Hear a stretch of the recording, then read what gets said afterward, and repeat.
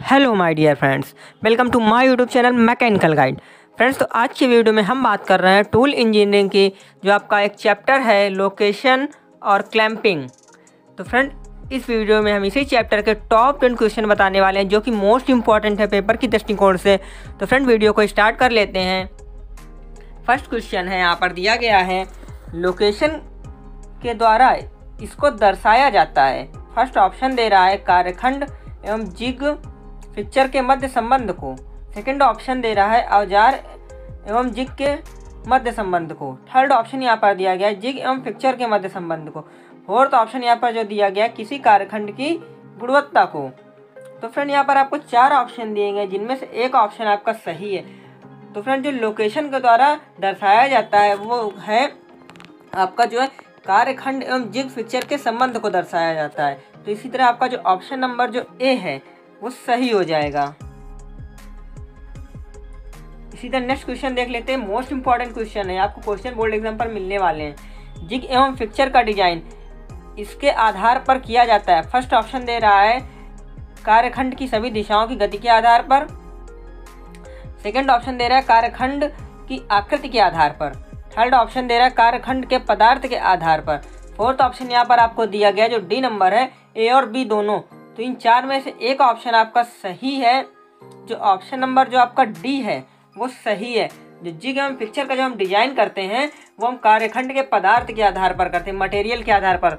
हमारा कार्य जो वर्क पीस है, उसका मटेरियल कैसा है, उसी के आधार पर हम जिग पिक्चर का डिज़ाइन करेंगे। इसी तरह नेक्स्ट क्वेश्चन देख लेते हैं, जो थर्ड नंबर क्वेश्चन है। स्वतंत्र, स्वतंत्रता की कुल कितनी डिग्री होती हैं। क्वेश्चन में बोला गया, स्वतंत्रता की कुल कितनी डिग्री होती हैं? फ़र्स्ट ऑप्शन दे रहा है चार, सेकेंड ऑप्शन दे रहा है आठ, थर्ड ऑप्शन दे रहा है बारह, और फोर्थ ऑप्शन यहाँ पर आपको दिया गया है सोलह। तो जो स्वतंत्रता की जो कुल डिग्री होती हैं, वो फ्रेंड्स बारह डिग्रियाँ होती हैं। तो ऑप्शन नंबर आपका जो सी है, वो सही है। ये क्वेश्चन तो आपको हंड्रेड परसेंट मिलेगा, थर्ड नंबर जो क्वेश्चन है।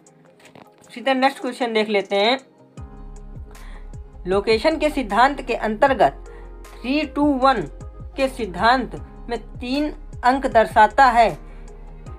तीन दिशाओं वाल, दिशाओं या अक्षों को कार्यखंड के तल पर गति को रोकने के, रोकने हेतु तीन पिनों की, पिनों के प्रयोग को। थर्ड ऑप्शन दिया गया घूर्णन गति को। फोर्थ ऑप्शन यहाँ पर आपको दिया है पहले समतल के लंबवत तलों को। तो इन चार में से एक ऑप्शन आपका सही है, जो ऑप्शन नंबर जो इसका फ्रेंड्स बी है वो सही है, कार्यखंड के तलों के। पर गति को रोकने हेतु तो तीन पिनों का प्रयोग। तो ऑप्शन नंबर आपका जो बी है, ये आपका सही है। इसी तरह नेक्स्ट क्वेश्चन देख लेते हैं जो फाइव नंबर क्वेश्चन है। खराद मशीन में कार्यखंड की गति को बांधने हेतु प्रयोग किया जाता है। फ़र्स्ट ऑप्शन दे रहा है थ्रीजा चक, फोरजा चक, और ये नेक्स्ट थर्ड नंबर ऑप्शन है जो कॉलेट चक। और डी नंबर ऑप्शन दे रहा है उपयुक्त सभी।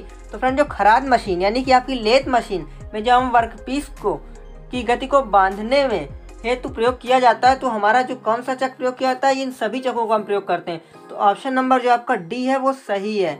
उपयुक्त सभी। फाइव नंबर जो क्वेश्चन का डी है वो सही है। इसी तरह नेक्स्ट क्वेश्चन देख लेते हैं जो सिक्स नंबर क्वेश्चन है।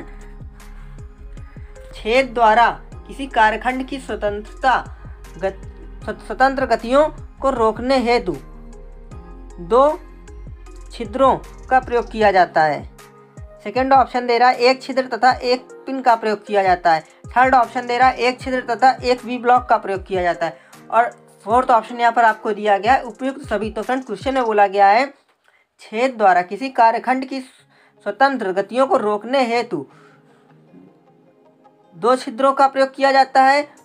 फ़र्स्ट ऑप्शन है आपका ये तो फ्रेंड इसमें जो आपका ऑप्शन नंबर जो फ्रेंड्स इसमें जो होने वाला है वो आपका, ऑप्शन नंबर आपका जो डी है इसमें, वो सही है। सिक्स का जो डी है वो सही, उपयुक्त सभी।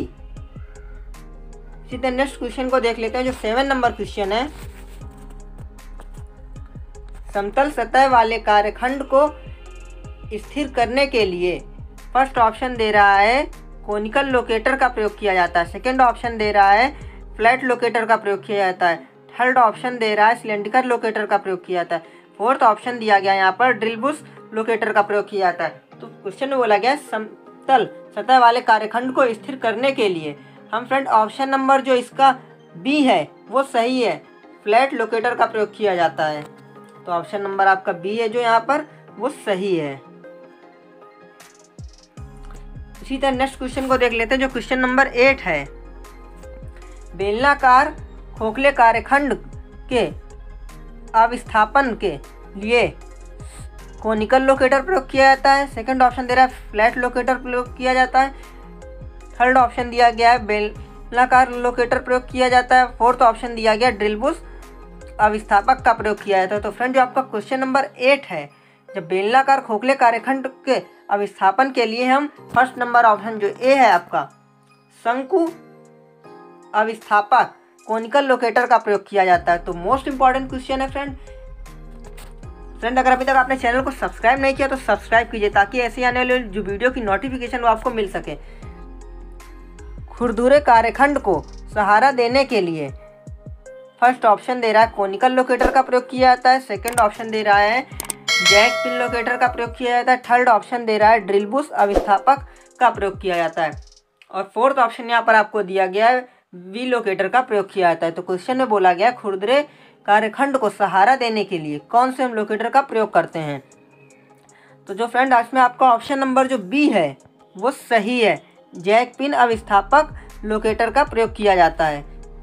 इसी तरह नेक्स्ट क्वेश्चन देख लेते हैं, जो टेन नंबर क्वेश्चन है। बेलनाकार ठोस कार्यखंड को सहारा देने के लिए फ़र्स्ट ऑप्शन दे रहा है, शंकु अविस्थापक का प्रयोग किया जाता है। सेकंड ऑप्शन दे रहा है, जैक पिन अविस्थापक का प्रयोग किया जाता है। थर्ड ऑप्शन दे रहा है डिलबुस अविस्थापक का प्रयोग किया जाता है। फोर्थ ऑप्शन दे रहा है वी अविस्थापक का प्रयोग किया जाता है। तो क्वेश्चन में बोला गया बेलनाकार ठोस कार्यखंड को सहारा देने के लिए हम किस लोकेटर का प्रयोग करते हैं? तो फ्रेंड, जो ड्रिलबुस अविस्थापक का प्रयोग किया जाता है तो ऑप्शन नंबर आपका जो सी है, वो सही है। इसी तरह नेक्स्ट क्वेश्चन देख लेते हैं, जो ग्यारह नंबर क्वेश्चन है। गोलाकार अथवा अर्धगोलाकार कार्यखंड को सहारा देने के लिए। किस तरह के लोकेटर का हम प्रयोग करेंगे? शंकु अविस्थापक का प्रयोग किया जाता है फ़र्स्ट ऑप्शन सेकंड ऑप्शन दे रहा है जैकपिन अविस्थापक का प्रयोग किया जाता है. थर्ड ऑप्शन दे रहा है, डिलबुस अविस्थापक का प्रयोग किया जाता है. फोर्थ ऑप्शन दे रहा है, वी अविस्थापक का प्रयोग किया जाता है. तो फ्रेंड जो आपका ग्यारह नंबर क्वेश्चन है इन चार में से आपका एक ऑप्शन सही है. जो ऑप्शन नंबर आपका जो डी है, वो सही है. वी अविस्थापक का प्रयोग किया जाता है. सीधे नेक्स्ट क्वेश्चन देख लेते हैं, जो बारह नंबर क्वेश्चन है. एक अच्छे क्लैंप में यह गुण होना चाहिए। फ़र्स्ट ऑप्शन दे रहा है। इसे कार्यखंड को अच्छी प्रकार से जकड़ना चाहिए। सेकंड ऑप्शन दे रहा है, क्रिया के दौरान इस पर कंपन का प्रभाव पड़ना चाहिए। थर्ड ऑप्शन दिया गया है, इसके द्वारा कार्यखंड की सतह को क्षतिग्रस्त नहीं किया जाना चाहिए। फोर्थ ऑप्शन यहाँ पर आपको दिया गया है, उपयुक्त सभी। तो फ्रेंड आपका जो ऑप्शन नंबर जो डी है, ये सही है, उपयुक्त सभी। फ्रेंड्स अगर आपको पीडीएफ या नोट्स चाहिए तो आप हमारे टेलीग्राम ग्रुप से जुड़ सकते हैं। लिंक डिस्क्रिप्शन पर है। इसी तरह नेक्स्ट क्वेश्चन देख लेते हैं।